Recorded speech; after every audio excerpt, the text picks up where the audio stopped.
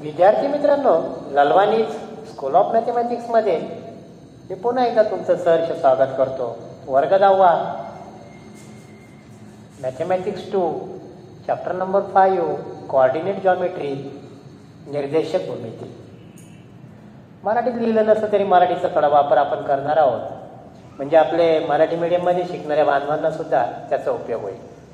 आणि काही कॅल्क्युलेशन जास्त आहे त्याच्यामुळं दोन्ही भाषेमध्ये मी तुम्हाला सांगायचा प्रयत्न आज करणार आहे. मित्रांनो आवाज येतोय का पहा एकदा? आवाजाचा प्रॉब्लेम होतोय का पहा? येतोय आवाज? ओके चला. एकदा फक्त फ्री मी पाहून घेतो. बरोबर आहे का? ठीक आहे. चला. आपण आपला प्रवास चॅप्टर नंबर एक पासून सुरुवात केली होती similarity Pythagoras theorem circle geometric construction each and every problem परीक्षेला येणारा असो किंवा नसो अभ्यासच करायचा आणि वेळ आहे पण कशाला काही सोडायचं नाही सगळं अभ्यास करायचा. कोणतं नॉलेज कुठं कामाला येईल काही सांगता येत नाही. मित्रांनो फाईव्ह पॉईंट थ्री या शैक्षणिक सत्रामध्ये जरी नसलं तरी आपण ते घेतलेलं आहे. आता मी प्रॉब्लेम सेट फाईव्हमध्ये जाणार आहे आणि क्वेश्चन नंबर टू पासून सुरुवात करणार आहे. तुमच्या मनामध्ये साहजिकच प्रश्न पडला असेल की सर मग क्वेश्चन नंबर वन कुठे गेला? Question number one M C Q आहे. आणि पूर्ण एम सी क्यू पुस्तकातले प्लस मनानं तयार केलेले एम सी क्यू याचे आपण सेपरेट व्हिडिओ तयार करणार आहोत. तोपर्यंत आपण क्वेश्चन नंबर टूला सुरुवात करू आज. काय आहे पहिला प्रश्न? Determine whether the given points are collinear or not हे ठरवा की दिलेले बिंदू हे एक रेषे आहेत किंवा नाही. पेज नंबर एकशे बावीस. पेज नंबर एकशे बावीस मराठी मीडियमचं पण पुस्तक मी नेहमी जवळ ठेवतो. पेज नंबर एकशे बावीस खालील बिंदू एक रेषे आहेत किंवा नाही ते ठरवा. पहिले आहेत तीन बिंदू A B C zero comma two पुस्तकात एकदा पाहून घेतो. जे दिलेलं आहे तेच लिहिलं का वेगळं काही लिहिलं? One comma minus zero point five two comma minus three मित्रांनो हा प्रश्न सोडवण्यासाठी आपल्याकडे दोन मार्ग आहेत. एका गावाला जायचे दोन मार्ग आहेत. पण आता मला तो स्लोपचा मार्ग सोपा आणि चांगला वाटतो. म्हणून मी स्लोप फॉर्म्युला वापरणार आहे. पाच पॉईंट एकमध्ये डिस्टन्स फॉर्म्युला वापरला होता. आणि त्याद्वारे आपण ठरवलं होतं की दिलेले पॉईंट्स कोलिनियर आहे किंवा नाही. पण आता आपण कशाचा वापर करणार आहे? स्लोपचा. ही slope is same and one point is common झालं आहे पाच पॉईंट तीनमध्ये चला पहिले. Zero comma two one comma minus zero point five पहिल्या पॉईंटला काय म्हणायचं? X one y one x two y two slope slope कोणत्या अल्फाबेटने दाखवता सांगा? Slope is indicated by m what is the formula y two y one x two x one आपल्याला सवयच लागली पाच पॉईंट तीन पासून. आणि नंतर काय द्यायचं? Minus where is y two this is y two this is y one slope of A B formula लिहिला अर्धा मार्क पक्का झाला. आता व्हॅल्यू पुटअप करू अर्धा मार्क मिळेल. पुन्हा आपण फायनल आन्सर काढू अर्धा मार्क मिळेल दीड मार्क चला वाय टू किती आहे? Minus zero point five y one किती आहे? टू जागा सोडायची थोडी. एक्स टू हे सोडून दिलं आता हे राहिलं. वन झिरो आणि याचं काय करायचं? मायनस हे झाले एक्झाम्पलमधले हे झाले फॉर्म्युल्यामधलं minus minus minus zero point five zero point five म्हणजे काय? सांगा. किती रुपीज आणि किती पैसे? समजण्यासाठी झिरो रुपीज आहे. आपलं उत्तर यूट्यूबच्या कमेंट बॉक्समध्ये टाका. झिरो पॉईंट फाईव्ह म्हणजे किती रुपये किती पैसे? बरोबर आहे. शून्य रुपये पाच पैसे. तर असं म्हणत असाल तर ते चुकलेलं आहे. मित्रांनो झिरो पॉईंट फाईव्ह म्हणजे इथं आणखी एक झिरो असतो. झिरो पॉईंट फाईव्ह झिरो म्हणजे पन्नास पैसे. आणि झिरो पॉईंट झिरो फाईव्ह म्हणजे शून्य रुपये आणि पाच पैसे. मित्रांनो हा खूप मायन्यूट फरक आहे पण हा खूप महत्त्वाचा आहे. आणि हे सर्व प्लस मायनस याचा अर्थ काय? ॲडिशन अशीच का करायची? याच्याविषयी मी मैत्री गणिताशी या प्लेलिस्टमध्ये चौदा व्हिडिओ टाकलेले आहेत. अवश्य पहा. नसेल सापडत तर मला यूट्यूबच्या कॉमेंट बॉक्समध्ये टाका. म्हणजे मी तुम्हाला त्याची लिंक पाठवू शकतो. तर मित्रांनो मायनस मायनस म्हणजेच काय होणार? मायनस राहणार टू पॉईंट दोन रुपये आणि पन्नास पैसे. दोन रुपये पन्नास पैसे म्हणजे two point five upon one म्हणजे minus two point five slope of A B is equal to minus two point five आता पुढं जायचं. पहिला स्लोप आपण काढलेला आहे. त्याला नंबर एक देऊ. आता number two. Number two. White chalk घेतो म्हणजे दिसायला सोपं होईल.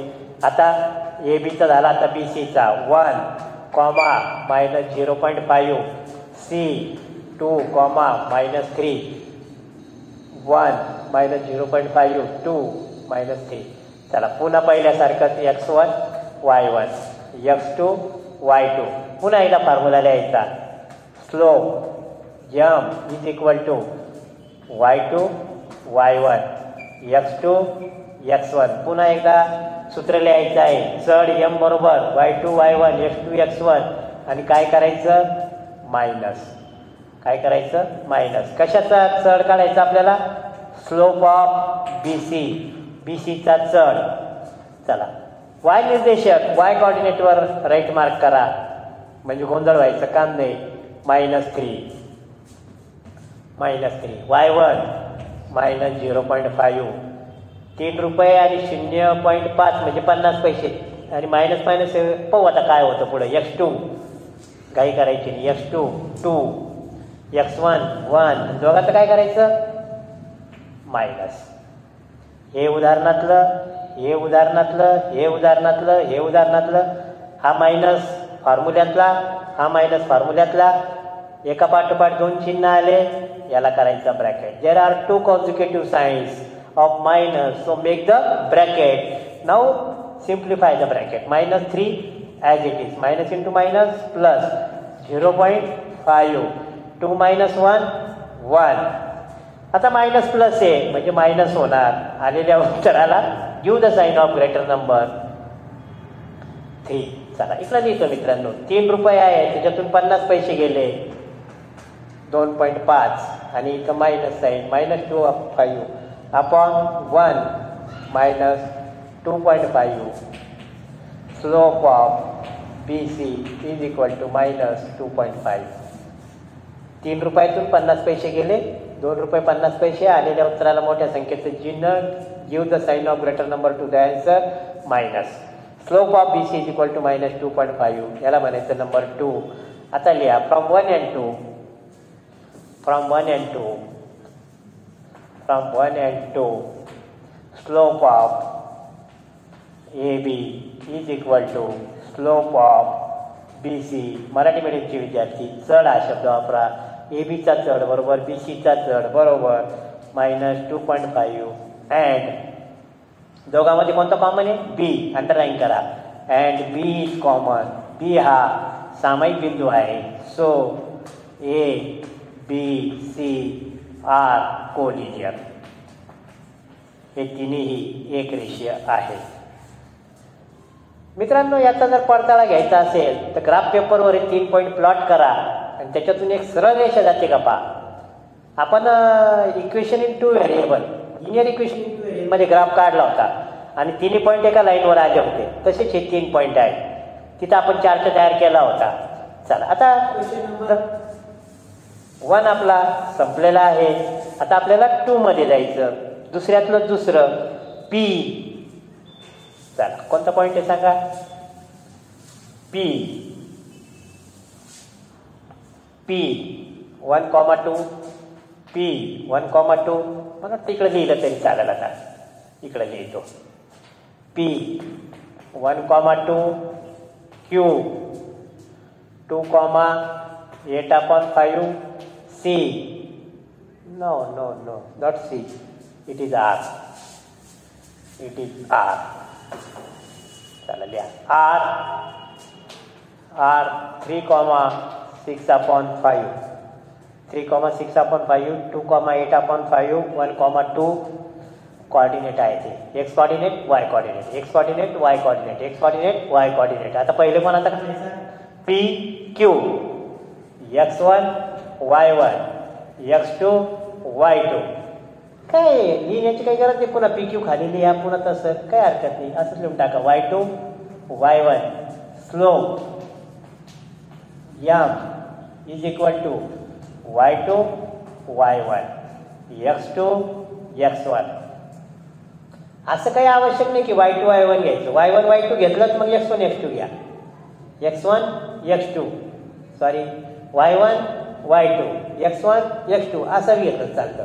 पण आता काय झालं की पुस्तकात आणि बऱ्याचशा गाईडमध्ये असं दिलेलं वाय टू वाय वन आपण जर म्हटलं आता मी एक वर्षी शिकवलं y one minus y two y one minus y two x one minus x two मी एका विद्यार्थ्यानं विचारलं म्हणे सर उत्तर तो बरोबर येतो पण याला मार्क नाही भेटला.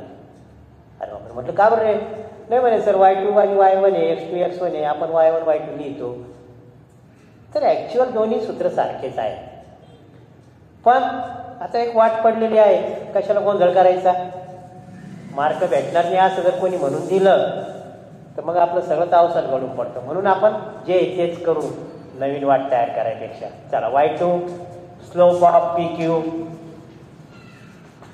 P क्यूचा चढ बरोबर. सांगा वाय टू आठ भागिले पाच eight upon five y one two x two one हे झाले उदाहरणातले. हे झालं फॉर्म्युल्यातलं हे झाले सूत्रातले. हे झालं हे झाले उदाहरणातले. हे झालं सूत्रातलं. एट आपण फाईव्ह मायनस टू बाजूला सॉल्व करा. बाजूला रेषा मारा आणि बाजूला पेपरमध्ये बी असं केलं चालतं. बाजूला रेषा मारा आणि इथं सॉल्व करा. डिवायडेशन हे डिवायडेशन आहे. भागाकाराचं चिन्ह आहे. एट डिवायडेड बाय फाईव्ह आठ भागिले पाच. हे चिन्ह आणि वजाचं चिन्ह नेहमी एका लाईनीत लिहायचा प्रयत्न करा. हे मॅथमध्ये आवश्यक आहे किंवा ते चांगलं बी दिसणार आहे. आता फाईव्ह आणि वन तीन गुणाकार करा. एट वन जा एट फाईव्ह टू जा टेन मधात आलं मायनस फाईव्ह वन जा five eight minus ten minus two upon five so minus two upon five upon one minus two upon five upon one one लिहायची गरज नाही minus two upon five slope of P Q is equal to minus two upon five पाच असेल. पाच भागेला एक असेल म्हणजेच पाच.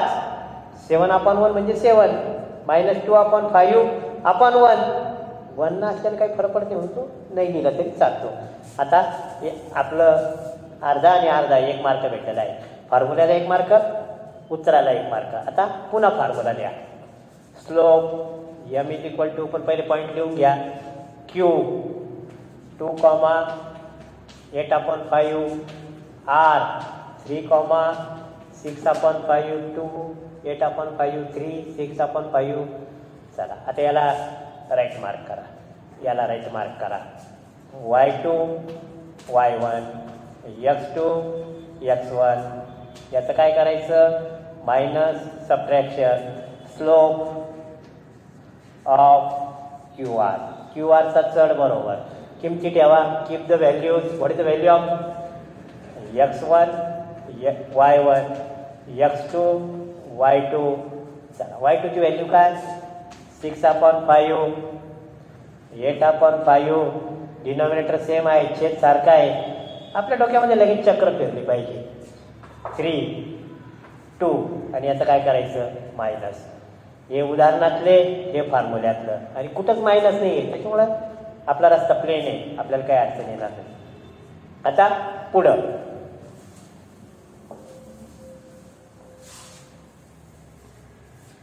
काय आलं सांगा? फायू फायू म्हणजे हे आले five six minus eight six minus eight म्हणजे किती आले? Minus two upon five upon three minus one म्हणजे थ्री मायनस टू म्हणजे वन आणि डिनॉमिनेटरमध्ये एक नाही दिला तरी चालतो. म्हणजे आन्सर काय मायनस टू अपॉन फाईव्ह मित्रांनो इथं रफ काम करायला काहीच हरकत नाही परीक्षेमध्ये पण. बाजूला रेषा मारायची बाजूला करायचं. म्हणजे गोंधळ व्हायचं काम नाही. स्लोप ऑफ क्यू आर याला म्हणा नंबर वन याला म्हणा नंबर टू आणि इथं आपल्या नेहमीप्रमाणे लिहा. फ्रॉम वन अँड टू काय लिहिणार सांगा? From one and two from one and two slope of पहिला कोणता? P Q equal to slope of Q R equal to minus two upon five and याला अर्धा मार्क आहे.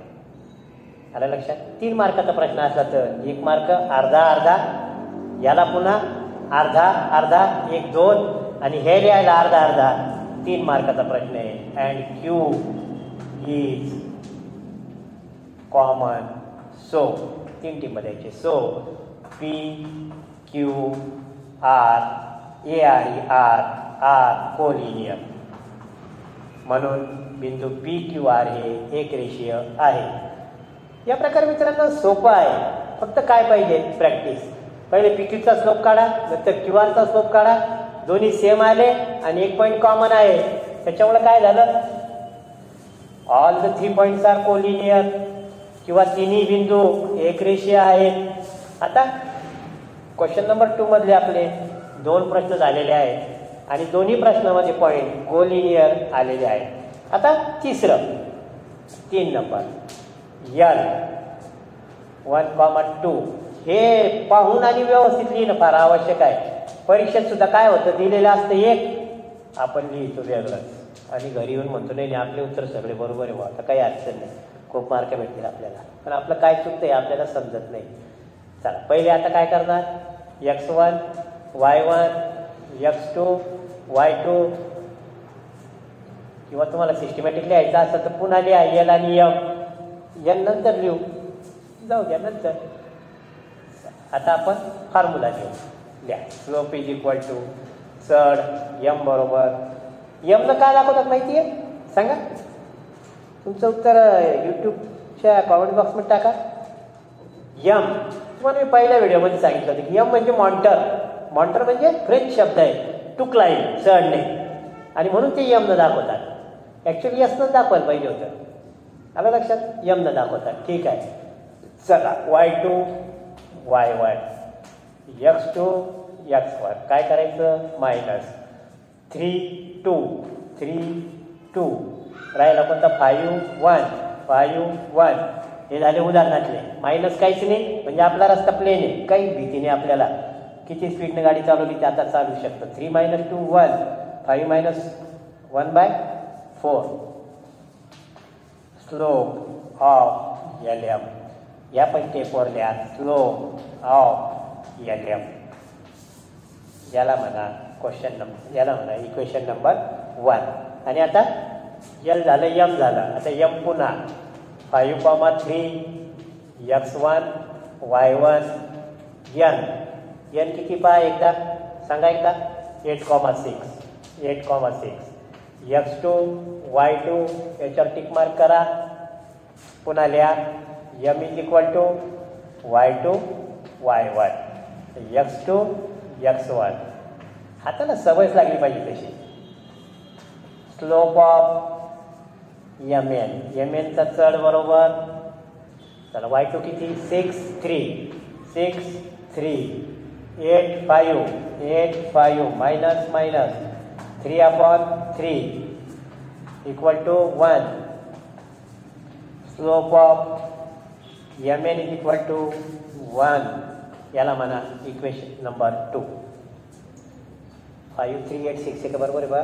फाईव्ह थ्री एट सिक्स सिक्समधून three गेले three एटमधून five गेले three upon three one okay इकडं थ्रीमधून टू गेले वन वन फाईव्हमधून वन गेला फोर बरोबर आहे. वन अपॉन फोर आणि वन आता लिहा. स्लोप ऑफ पण आता पहिल्याचा स्लोप किती आला? वन बाय फोर दुसऱ्याचा स्लोप किती आला? वन इक्वल आहे का दोन्ही? नाही दोन्ही सारखे नाही. Not equal not equal slope of L M not equal to of Mn M equal to असतं तर लिहिलं असतं एम इज कॉमन पण आता इक्वल टूच नाही म्हटल्यावर पुढचा प्रश्न मिटला. म्हणून so L M N are not collinear म्हणून बिंदू एल एम एन ते एक रेषे नाही. मित्रांनो लिनियर इक्वेशन इंटू मध्ये चार पॉईंट एकमध्ये आपण ग्राफ काढत होतो. असा आणि त्या ग्राफ पेपरवर एखादा पॉईंट बाहेर जात होता. इथं एखादा बाहेर जायचा. इथं एक पॉईंट इथं एक पॉईंट म्हणजे हे काय झालं की कोलिनियर त्याचा अर्थ आपलं काहीतरी चुकत होतं बा मागं या प्रकारे मित्रांनो आपण क्वेश्चन नंबर टू पूर्ण केलेला आहे. आणि या क्वेश्चन नंबर टूमध्ये तीन प्रश्न आहेत. प्रश्न पहिला किंवा सब क्वेश्चन म्हणता येईल त्याला. फक्त प्रॅक्टिसची गरज आहे. काहीच नाही. सगळं पाचवी सहावी तर प्लस मायनस मल्टिप्लिकेशन डिव्हिजन आहे. फक्त गरज कशाची आहे? प्रॅक्टिसची आणि एकच तर फॉर्म्युला आहे. सांगा कोणता formula y two minus y one आपण x two minus x one आता question number three find the coordinates. Find the coordinates of midpoint. Midpoint of लाइट पेज नंबर एकशे बावीस क्वेश्चन नंबर थ्री पुस्तक वही तुमच्याकडं रेडी असेल आणि तुम्ही व्हिडिओ पाहता पाहता लिहित असाल असं मी अपेक्षा करतो. कारण मॅथमॅटिक्स ऐकल्याने येणार नाही. काहीतरी आपल्याला वर्क करावं लागेल. व्हिडिओ पास करायची सोय आपल्याकडं. व्हिडिओ पास करायचं लिहायचं वाचायचं समजून घ्यायचं सोडवायचं मनानं. Joining P zero comma six Q twelve comma twenty एक सेगमेंट आहे. एक रेषाखंड आहे पी क्यू. त्याच्या मध्यबिंदूचे आपल्याला P Q. P Q. P किती आहे? Zero comma six. क्यू किती आहे? Twelve comma eight. आणि याचा पॉईंट मिड पॉईंट याला आपण काही म्हटलं का? काहीच नाही म्हटलं. यम. मिड पॉईंट म्हणजे सेम. याचे कॉर्डिनेट आपल्याला माहिती नाही. काय कॉर्डिनेट आहे? X comma y one is two one. चल. आता मिड पॉईंटचा फॉर्म्युला आहे. X is equal to x one plus x two upon two पहिला पॉईंट म्हणजे काय? एक्स वन वाय वन दुसरा पॉईंट म्हणजे काय? एक्स टू वाय टू चला एक्स वन किती आहे? झिरो एक्स टू ट्वेल्व दोघांचा ॲव्हरेज काढा. दोघांची सरासरी काढा. X is equal to six y is equal to y one plus y two upon two y is equal to चला y कोणते? हे वाय आपल्या स्लोपला सवय पडली ती. Twenty plus six upon two twenty six upon two equal to thirty वीस अधिक सहा बरोबर सव्वीस सव्वीस भागिले दोन बरोबर तेरा. एक्स कॉर्डिनेट आला सहा वाय कॉर्डिनेट आला तेरा. आणि म्हणून एंड करायचं. काय विचारलंय सांगा? जे विचारलं त्याच्याने एंड होणं फार आवश्यक आहे. काय विचारलं? Find the coordinate of mid point so coordinate of mid point to to comma comma y to to एक्सची value किती? सिक्स कॉमा थर्टी आणि याला फ्रेम करा. हे सर्व पॉईंट ग्राफ पेपरवर आहे. हे सर्व पॉईंट कुठे आहे? ग्राफ पेपरवर आणि म्हणूनच ग्राफ पेपरला आपण काय म्हणतो? कॉर्डिनेट सिस्टीम रेने ते एक अर्जाने शोधून काढली. आणि म्हणून चॅप्टरचं नाव काय? सांगा what is name of our chapter coordinate geometry काय नाव आहे आपल्या चॅप्टरचं नाव? निर्देशक भूमिती. आता question number four find the ratio find the ratio in which find the ratio in which the line segment परीक्षेत प्रश्न लिहायचं काम नाही. वाचायचं आणि काय काय दिलंय ते लिहायचं गिवनमध्ये line segment joining the points joining the points A 3 comma 8 and B minus 9 comma 3 is divided by the y-axis is divided is divided by y-axis मित्रांनो आता इंग्रजीत लिहिलेलं आहे आणि मराठीत मी ते वाचणार आहे पुस्तकातून दोन्ही पुस्तकं मी सुरुवातीपासूनच वापरत आलेलं आहे मराठी मीडियम आणि इंग्रजी मीडियम आपण आता ओरिजिनल मराठी मीडियमचेच विद्यार्थी आहोत पण आता काळाच्या ओघात सेमी इंग्लिशमध्ये आपण गेलेलो आहोत. आणि चांगलं आहे ठीक आहे ना? जे विद्यार्थी मराठी माध्यमामध्ये शिकतात आणि पुढं शाळेचं जाणार आहेत त्यांना पण याचा फायदा होईल. काही नाही शंभर शब्द पाठ केले की तेच इंग्रजीत आहे. प्रश्न नंबर चौथा पेज नंबर एकशे बावीस संकीर्ण प्रश्न संग्रह पाच ए तीन कॉमा आठ आणि बी वजा नऊ कॉमा तीन या बिंदूंना जोडणाऱ्या रेषाखंडाला वाय अक्ष कोणत्या गुणोत्तरात विभाजित करतो? प्रश्न दोनदा तीनदा वाचा आणि त्याचा अर्थ काय हे पहिले लक्षात घ्या. एक निश्चित वेळ प्रश्न वाचायला देणं आवश्यक आहे. की दोन पॉईंट दिलेले आहेत. मी आता कॉर्डिनेट सिस्टीमच काढतो. कॉर्डिनेट सिस्टीम काढतो. X axis y axis x x dash y y dash this is the origin zero comma zero three comma eight अंदाजे कोणत्या अंदाजे नाही कोणत्या क्वाड्रंटमध्ये येणार आहे कोणत्या चरणात? प्लस प्लस पहिल्या चरणात. इथं आला थ्री इथं आला एट हा झाला पॉईंट आहे आता हे अंदाजे हा न लिहिता. दुसरा minus nine comma three minus nine म्हणजे वाय आर सिक्सवर इथं मायनस नाईन आणि थ्री कुठे? आहे वाय आर सिक्सवर या इथं थ्री आहे. मायनस नाईन आणि इथं थ्री आर हा इथं थ्री हा झाला पॉईंट बी समजणं फार आवश्यक आहे मित्रांनो. अंडरस्टँडिंगला फार महत्त्व आहे. आणि म्हणून थोडा एक्सप्लेन करण्यामध्ये थोडा वेळ गेला तर चालेल. पण असं उत्तर काय येतं? याचा अर्थ काय? नाहीतर मग दहा पंधरा पंधरादा सोडवलं प्रॅक्टिस झाली उदाहरणं पाठ झाले मार्क मिळवले घरी आले. अकरा बारा शाळेतला पुन्हा घरी यावं लागलं. कारण मग तिथं अंडरस्टँडिंगला फार महत्त्व आहे. नेमकं होतं काय हे समजलं पाहिजे. हे दोन्ही पॉईंट मी जोडतो. हा झाला सेगमेंट ए इनं आता. या पॉईंटला वाय ॲक्सिसला इथं कट झाला. Find the ratio in which the line segment joining the points A and B is divided by the y axis हा झाला यम पॉईंट किंवा यमपेक्षा याला मी म्हणतो यन पॉईंट काय म्हणणार आहे? यन पॉईंट म्हणजे आपली आकृती या प्रकारे तयार झाली मित्रांनो. हा झाला. पहिले इकडून सुरुवात करतो. ए बी आणि इथं कुठंतरी असेल यन. बरोबर आहे? आता हा एला जवळ आहे. एला जवळ येतो. चला. एचे कॉर्डिनेट काय? थ्री कॉमा एट बीचे कॉर्डिनेट काय? मायनस नाईन कॉमा थ्री हा काय झालं? एक्स वन वाय वन हे काय झालं? एक्स टू वाय टू आणि एटचे कॉर्डिनेट काय? एक्स कॉमा वाय थोडा ॲक्सिस आता मी हा छोटा करतो. हा ॲक्सिस थोडा छोटा करतो म्हणजे आपलं गोंधळ होणार नाही. परीक्षेत काढा ना मित्रांनो फिगर ज्याला थोडं मॅथमध्ये इंटरेस्ट समजतं. सातवी आठवीपासून अभ्यास केलेला आहे. अरे फिगर काढायला काय हरकत नाही. खूप जास्त इम्प्रेसिव्ह होईल पण हे आवश्यक नाही. येत असेल तरच काढा. उगाच काहीतरी काढून आपला अज्ञान दाखवू नका. आणि हे झालं आता आपल्याला रेशो काढायचा. M is to N M is to N small N आपण आहे ना यम आणि यन काढूनच टाकू. याला आहे ना टी म्हणू आपण. म्हणजे ते यम आणि यनमध्ये बोलवणार नाही. टी टी ब्रेक होऊन जाईल आपल्या चहाची सुट्टी. चला यम आणि यन आणि आपल्याला सेक्शन फॉर्म्युला वापरायचा आहे. कोणता फॉर्म्युला वापरायचा? सेक्शन फॉर्म्युला मित्रांनो एक लक्षात घ्या.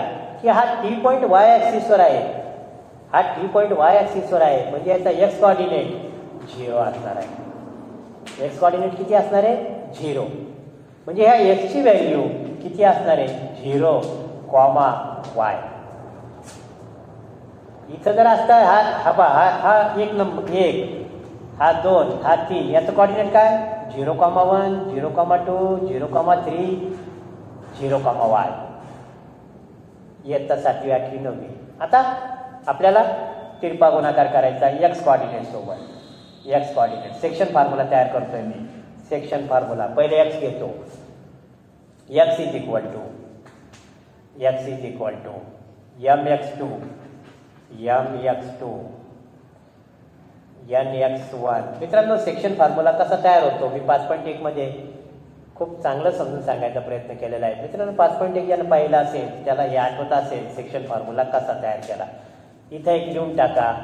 Point T is on y axis so x coordinate so x coordinate of T E Z R O zero इतकं जर सिस्टमॅटिक लिहिलं तर पेपर तपासणार इम्प्रेसिव्ह होते. या विद्यार्थ्याला खूप चांगलं समजलेलं आहे. आणि म्हणून थोडा वेळ लागला तर चालत समजून उमजून करा. चला आता एक्सची किंमत किती आली? झिरो. कुठून आणली?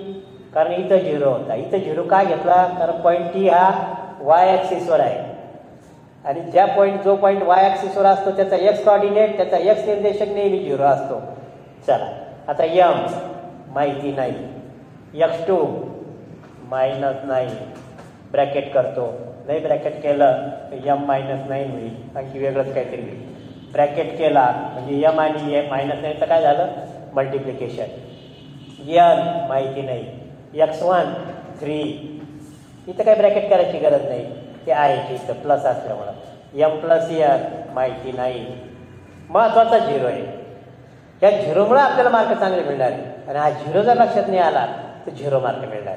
Why y the x coordinate is zero because point is on the y axis हा बिंदू वाय ॲक्सिसवर आहे. मित्रांनो M plus N into zero एक स्टेप वर टाकू एम प्लस एन ब्रॅकेट करा. इक्वल टू इकडं झिरो आपण काहीच म्हणजे वन आहे. आता वन म्हणजे हे जसे तसे येऊन जाईल. Minus nine M plus three N हे किती आला answer zero equal to minus nine M plus three M समजते का मित्रांनो? तिरपा गुणाकार केला. याला गुणिले झिरो. कोणत्याही संख्येला झिरो निघून की तर झिरो येतो. Any number multiply by zero answer is zero म्हणून हे झिरो आलं. हे जसे तसे लिहून टाकलं. M into minus nine minus nine M plus N into three three N आता हा मायनस नाईन एम आहे. मी याला ट्रान्सफर करतो. From R H S to L H S हे काय होऊन जाईल? नाईन एम हा झिरो इकडं जशाच्या तसा? पण आपल्याला माहिती आहे की कोणत्याही संख्येत झिरो मिळवलं तर काही फरक पडत नाही. म्हणून आपण हा झिरो आता लिहिणार मायनसचं झालं plus three N as it is आता आपल्याला रेशो काढायचा. यम इज टू यन आपल्याला रेशो काढायचा. What is the meaning of ratio division पाच पॉईंट एकमध्ये मी हे सांगितलेलं आहे. यम अपॉन यन काढायचा. माझ्याकडे यम आहे. मला ह्या यनला ट्रान्सफर करावं लागेल. थ्री इंटू यन तीन आणि एनमध्ये मल्टिप्लिकेशनचं चिन्ह आहे गुणाकाराचं. ट्रान्सफर झाल्यावर हा कुठे येईल डिवायडेशनमध्ये भागाकारात न्युमरेटरची संख्या डिनॉमिनेटरमध्ये आता थ्री आशाच्या असा. आता या नाईनला ट्रान्सफर करतो. इथं की काय आहे? मल्टिप्लिकेशन हा न्युमरेटरला आहे. हा कुठं जाईल? डिनॉमिनेटरला पुन्हा एकदा आपलं उत्तर बरोबर आहे का? चुकी पहा. एनला ट्रान्सफर केलं डिनॉमिनेटरला आलं. नाईनला ट्रान्सफर केलं डिनॉमिनेटरला आलं. आणि उत्तर बरोबर आहे का? पुन्हा एकदा क्रॉस मल्टिप्लिकेशन करून पहा. Nine into M nine M three into N three N बरोबर आहे. थ्री वन जा थ्री थ्री थ्री जा nine so M upon N is equal to one upon three मित्रांनो एक लक्षात घ्या की वन हा न्युमरेटरला आहे आणि थ्री हा कुठे? डिनॉमिनेटरला आहे. म्हणून घाई गर्दीमध्ये वन अपॉन थ्रीला थ्री लिहू नका. परीक्षेमध्ये हेच महत्त्वाचं आहे. बऱ्याच गोष्टी आपल्याला येतात. पण येऊन आपण चुकवतो कारण आपल्याला घाई असते की टेन्शन असतं किंवा कॉन्सन्ट्रेशन नसतं प्रॅक्टिस करावी पडते. M upon N is equal to one upon three किंवा M is to N is equal to one upon three हे आपलं अजून फायनल उत्तर झालेलं नाही. आता वाचायचं इथं. फाईंड द रेशिओ म्हणून लिहायचं. The ratio in which the line segment joining the points A B is is equal to या. So the ratio so the ratio चार्टमध्ये लिहून टाका. So the ratio equal to one is to three बस याला. मी तुम्हाला question number two three आणि four समजून सांगायचा प्रयत्न केलेला आहे. आपल्या प्रतिक्रिया माझ्यासाठी खूप महत्त्वाच्या आहे मित्रांनो प्रॅक्टिस करा. प्रथम सत्राचं थोडंसं अवघड आहे थेरम साहेब भरपूर. पण द्वितीय सत्र अतिशय सोपं आहे. फक्त फॉर्म्युला फॉर्म्युला टाका प्लस मायनस मल्टिप्लिकेशन डिव्हिजन पटपट करा प्रॅक्टिस करा. आपण सोडवलेली उदाहरणं आपल्या मित्राकडून तपासून घ्या. त्याला मार्क द्या. एका चुकीला अर्धा मार्क कमी करा. त्याचे प्रश्न त्यानं लिहिलेला आपण तपासा. वेळ लावा. दहा मिनिटामध्ये तीन प्रश्न पंधरा मिनिटामध्ये तीन प्रश्न होतात का पा एकमेकांच्या पेपर तपासून घ्या. आणि या प्रकारे जर आपण स्मार्टपणे अभ्यास केला तर मॅथमॅटिक्स शांततेच्या काळात सोडवणं वेगळं आणि युद्धाच्या काळात म्हणजे परीक्षेमध्ये सोडवणं वेगळं. दोघात खूप फरक आहे. युद्धाच्या काळात नेहमी मंत्र विसरून जातो आपण. महाभारताच्या कर्णासारखा आणि काहीतरी वेगळंच करतो. तर मित्रांनो आपल्याला प्रॅक्टिसची खूप गरज आहे. मित्रांसोबत व्यवस्थित अभ्यास करून आपण त्यांना प्रश्न द्या. दहा मिनटं सोडवायला लावा. तेच प्रश्न आपण सोडवा. दररोज एक एक पेपर पाच मार्काचा दोन मार्काचा सोडवला खूप चांगली तयारी होते. तर मित्रांनो भेटूया पुढील भागामध्ये. राहिलेले प्रश्न घेऊन तोपर्यंत प्रॅक्टिस करा. तुमच्या कॉमेंट्स यूट्यूब बॉक्सवर अवश्य अवश्य टाका. मला त्याच्यातून काहीतरी प्रेरणा मिळेल मार्गदर्शन मिळेल आणि याच्यामध्ये आपल्याला इम्प्रूव्हमेंट करता येईल. मित्रांनो पुन्हा भेटूया पुढच्या भागामध्ये. प्रॅक्टिसला लाईक करा. ललवानी स्कूल ऑफ मॅथमॅटिक्सला सबस्क्राईब करा. तोपर्यंत have a good day thank you thanks once again